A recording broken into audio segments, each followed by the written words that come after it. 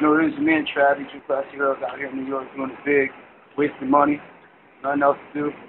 CultureShoq.com, keep it locked.